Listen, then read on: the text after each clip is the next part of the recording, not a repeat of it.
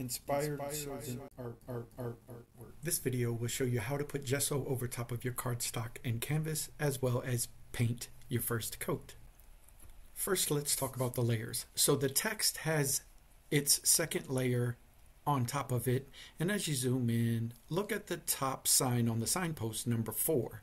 It actually has quite a bit of depth. Here, with the gesso, you can see the shadow a little bit, but with the paint, you can really see the pronouncement of the shadow and the footprint at the bottom. What is gesso? Gesso is canvas primer, and you can pick it up at Hobby Lobby.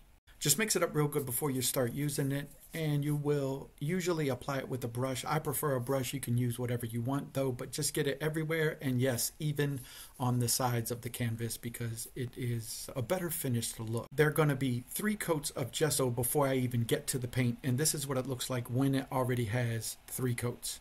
Then comes the paint.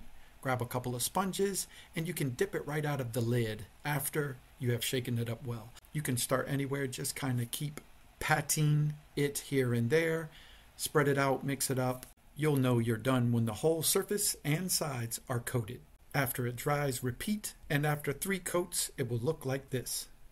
And this stage is complete. Check out the next stage in the project.